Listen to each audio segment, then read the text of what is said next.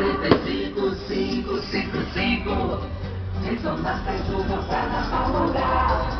Com a presença do nosso candidato a vereador, Nixon Nasser Júnior. E a presença do seu pai, Nixon Nasser. 45, 5, 5.